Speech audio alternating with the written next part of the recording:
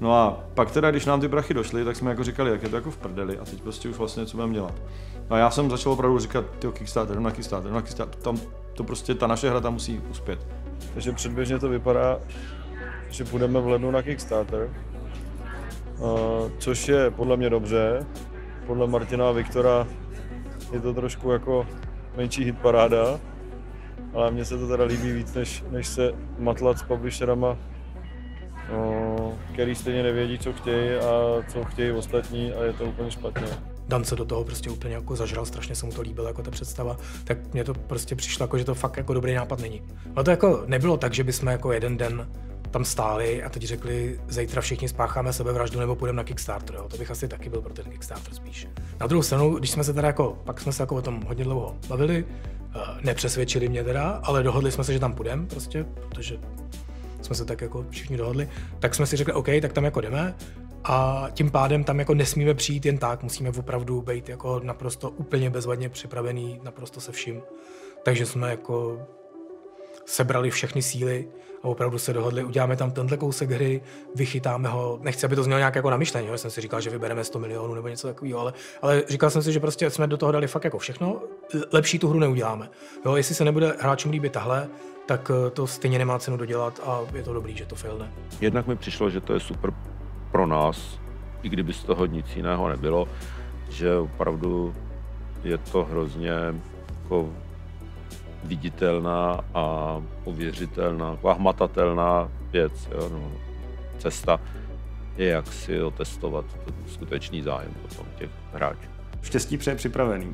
A my jsme se na Kickstarter připravovali dlouho, a detailně, tak tomu se musí dělat jako pořádná reklama a dopředu mluvit s potenciálními zájemci. Pojďme to udělat takhle. Vlastně to je něco jako IPO naše. Jo? Nejsou to akcie, ale je to vlastně nějaká naše veřejná nabídka toho, co chceme udělat, tak to pojďme udělat pořádně. No takže jsme prostě strašně řešili, kdo bude v tom videu Kickstarterovým, jestli si jako najmeme herce, který to prostě super angličtinou odříká. Nakonec jsme to teda riskli, že to budu já a ukázalo se to, že to je v pohodě, že to vlastně nikomu nějaký přízvuk jako nikomu nezajímá. Hi, I am the creative director of the game you just saw. I hope you liked it. And I'm here to tell you more about the game, about the people behind it, and most importantly, about the reason why we are here on Kickstarter.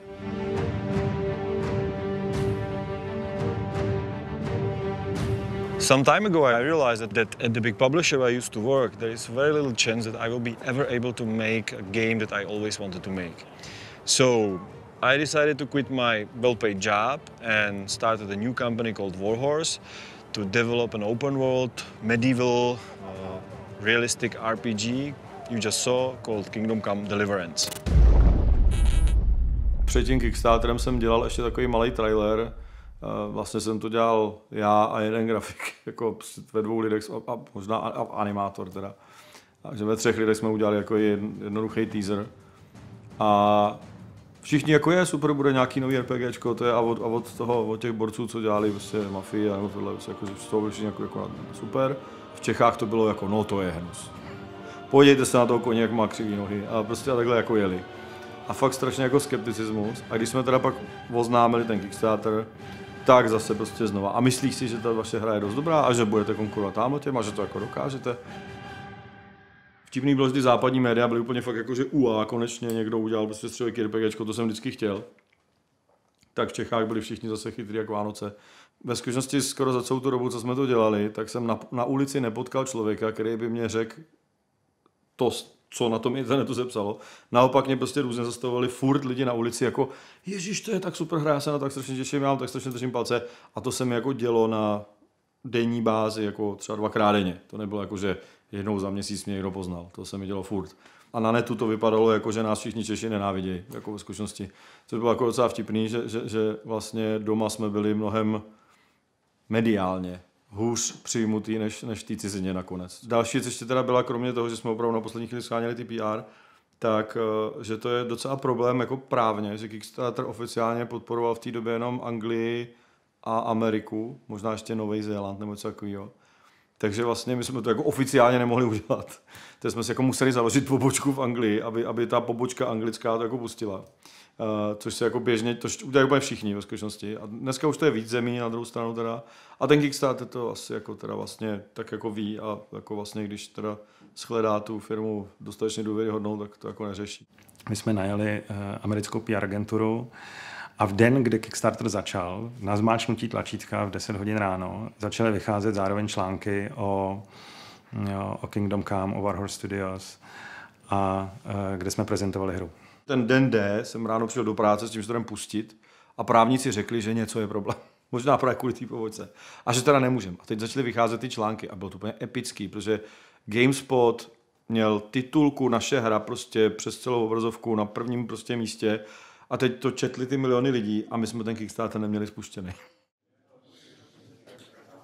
Takže GameSpot u nás napsal článek v hodnotě několika milionů dolarů a my nemáme spuštěnou Kickstarterovou kampaň. A nemůžeme s tím nic udělat, kromě toho všechny strašně nastavit a spustit to.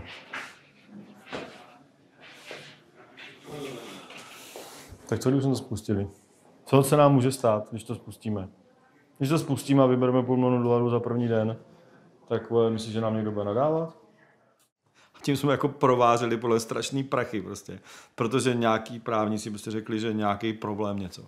Takže fakt několik hodin to trvalo a my jsme pak už tam takhle stáli s tím čudlikem vlastně skoro pusto, pusto, kašli na ně prostě, já vem si, vezmeme si to na triko, prostě teď jsme prodělali 200 tisíc liber, prostě jako když jsme to tady jako na to, že prostě úplně jsme to jako viděli, jak tam ty peníze tečou a netečou. Lounge či ne lounge? No já si na, ten, já si na to vzpomínám, že Martin Klíma volal a říkal, články už jsou venku a ještě není zmáčknutý tlačítko na Kickstarteru, ale mezi tím byla asi hodina a půl, takže řekl bych, že to bylo v rámci takový tý jako euforie. No, tak podívej se, Craig na nic neodpověděl, na tvůj e-mail raní, tak to beru tak, že nikdo nemá dáne námitky a můžeme to pustit.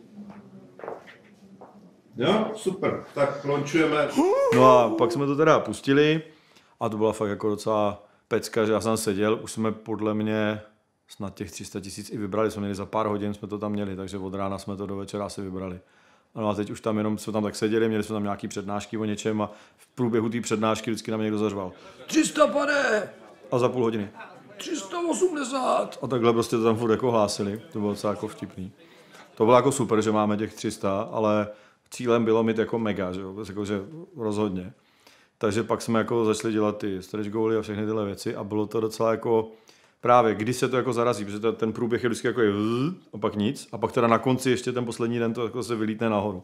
To, je, to jsme museli nějak jako podporovat. No, a, ale v zásadě prostě to bylo, dopadlo to jako nad očekávání dobře, se dá říct.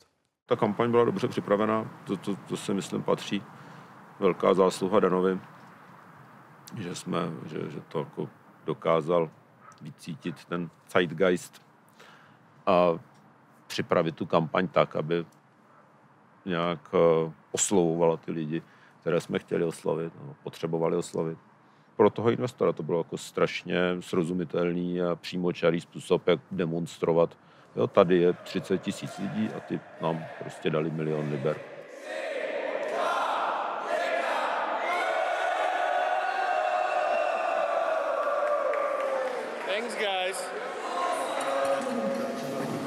Tak my jsme vám chtěli nějak poděkovat.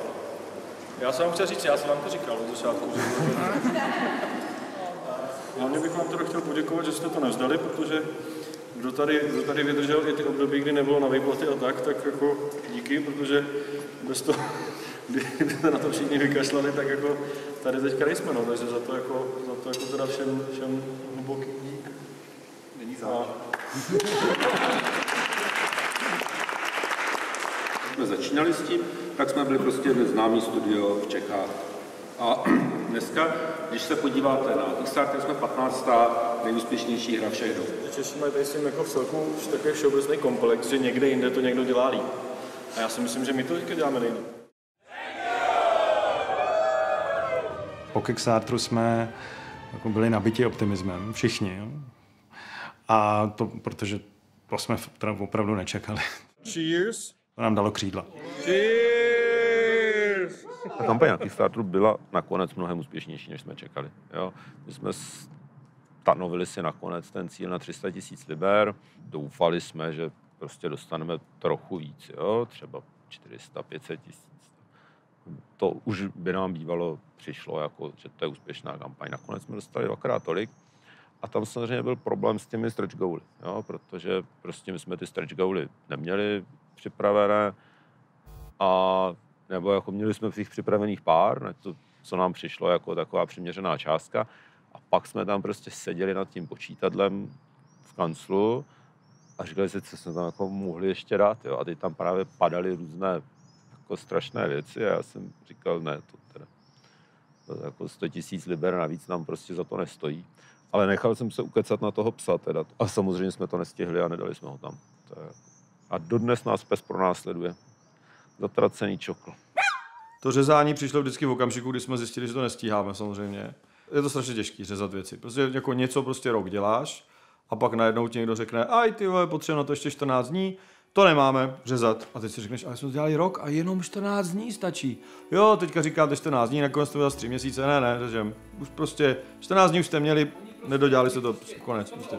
Tak jako fakt nakonec takhle máš takovýhle jako meetingy, které jsou fakt jako hustý, protože tam ty lidi na sebe, jako fakt nikdo to nechce řezat, všichni se řvou a nejbolestivější byl ten pes, protože to jsme fakt jako slíbili jako stretch goal, který jsme dali. Takže to nebylo blbý, že teda všichni máme strašně rádi psy a strašně nás to mrzí, ale slíbili jsme to a nesplníme to. To byl fakt jako, že eh, pro mě dost jako zásadní problém.